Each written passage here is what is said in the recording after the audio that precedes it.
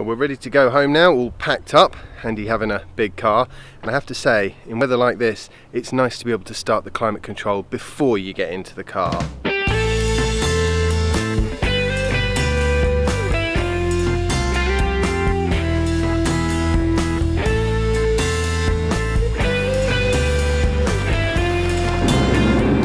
Today I'm going to talk about batteries a little bit because they're everywhere they have been for a long, long time. But in the last decade, they seem to suddenly be powering everything. Firstly, there's a few different types of batteries, actually lots and lots of different types of batteries. The first type, which is also the oldest, are the lead acid batteries, and they're still in use today all over the globe. The thing about lead acid batteries is they are very heavy, just anything with, with lead in really. They also can't take very many charge discharge cycles before they're worn out. They do have a few advantages over other types of batteries however. They can supply a huge amount of current for a very short period of time. They are, they are very good at that so what's the ideal way to use a lead acid battery? Well, lead acid batteries like to be as charged as possible all the time. So the best thing to do with a lead acid battery is basically keep it charged and not run it down below 80%. The next kind of battery are the nickel based batteries and these are sort of the next lots in terms of age as well, generally speaking. And they have also, you know, they've, they've got more power density than lead acid batteries, certainly, and they're much lighter than lead acid batteries. And they can take about the same number of charge cycles, but they they work a bit differently in that the nickel-based chemistries have something called a memory effect so in order to keep your nickel-based battery nice and healthy, the thing to do is to charge it up to full and then run it down to empty, and charge it up to full and run it down to empty. And another downside of nickel-based batteries, they also have quite a high self-discharge rate. So if you leave it on the shelf somewhere, it's just going to run down to nothing in no time that's one of the reasons why the garden powered machinery, like hedge cutters and stuff like that, from a decade or two ago, been powered by nickel cadmium batteries probably, and then nickel metal hydride possibly after that. They all, the, the battery would basically die in the space of a year or two, because what would happen is you'd use it, and when you and after you'd used it, you'd charge it up and put it on the shelf, and then over the next six months when you don't need to cut your hedge because it's winter the battery will run down to absolutely zero and damage itself by doing that just sort of just through self-discharging and the memory effect is also quite an irritating effect from the point of view of keeping a battery because it means you can't just top it up whenever you want or if you do you you know run the risk of reducing the lifespan of that battery somewhat and then we get to the more modern batteries, the lithium-based batteries. And there are many, many different kinds of lithium-based battery, but they are more power dense and, and lightweight than other types of batteries. They take a much greater charge discharge cycle. Like typically, a lead acid battery can be discharged something like and charge something like 300 to 800 times. Uh, a nickel-based battery, it can be anything from sort of 500 to 1500, depending on what the exact chemistry is we're talking about. Lithium batteries are all generally one to 2,000 charge discharge cycles.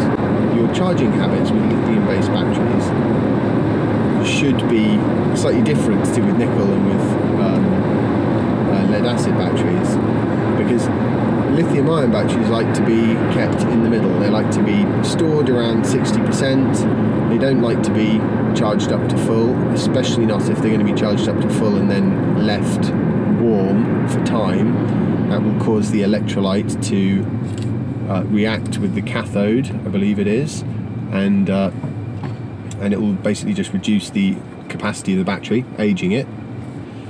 And they also don't like to be run down to a low state of charge. They're not they're not happy with that either. That will reduce the capacity of the battery over time as well.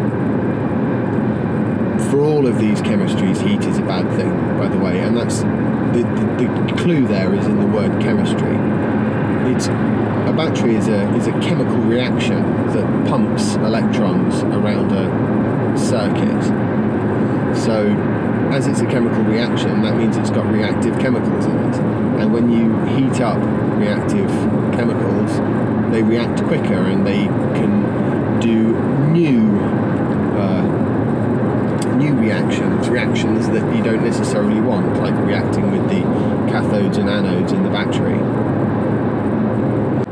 It's the power density and the longevity, particularly the longevity on the shelf, so to speak, but also the charge cycle longevity that has really sort of enabled the modern era of uh, consumer electronics to blossom because it's made things like mobile phones possible and electric cars as well now, just. And over time, I, I think they're going to improve the chemistries and the power density to the point where electric airplanes and helicopters will be an achievable and practical reality. Although obviously we're not quite there yet. So what does the future of batteries look like? More power, lower weight, greater capacity. And as these things happen, I strongly believe we are basically entering the age of the battery, where batteries will power basically everything and enable technology and uses of power which are previously not possible. I mean, in particular, things like renewable energy. Renewable energy is great, it just doesn't turn up when you need it. But if you put a battery there, a big, powerful battery that is capable of being flexible and having a good uh, lifetime in service, then all of a sudden renewable energy becomes massively more useful. And in many ways it becomes the best kind of electricity because with electricity you have to match the demands with the amount that you produce pretty closely otherwise the voltage goes all over the place. So if you have a battery it's brilliant because a battery can change its power output you know second by second. Whereas a power station you know it takes time to turn generators on and turn them off and things like that. So yeah I'm, the future of batteries is bright. I for one won't particularly miss the age of oil anyway. Dirty smelly stuff. You might have noticed there's a bit of a common theme in my vlog and that is basically batteries I just realised I don't have any lunch for Jasper, so we're going to have a little treaty lunch, hopefully. Something yummy.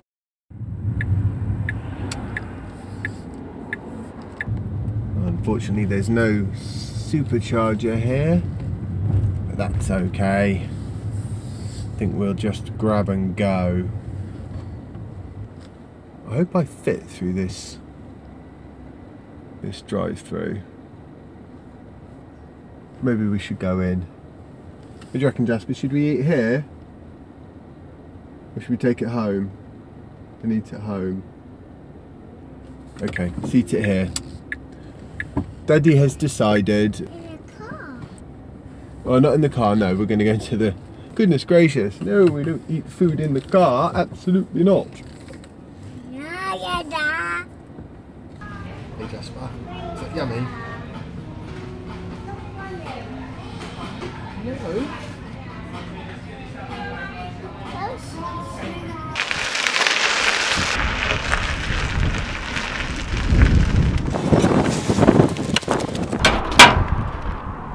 Oh joy, a bill. I don't mind getting bills like that actually. I hope you found today's vlog post interesting. If you have, don't forget to subscribe if you haven't already and give it a big thumbs up. and I'll see you tomorrow for the next instalment of my daily vlog. Bye.